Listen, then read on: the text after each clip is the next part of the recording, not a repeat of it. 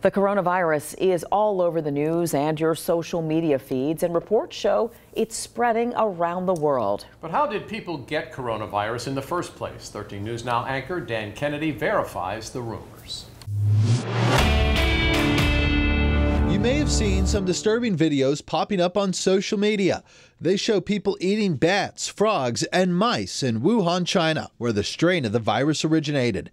They're not just random social media videos. Some popular news sites are sharing similar clickbait headlines saying this is how the virus spread, and people are scared. I would just not go out at all, just stay home with my parents. They ask the people to stay home yeah, so this is very serious. So, did people get this strain of the virus from eating bats? To verify this one, we have to get into a little background about coronavirus.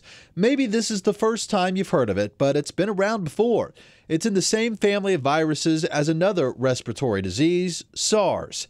And that's where this gets tricky. Scientists claim SARS was originally passed to humans by bats.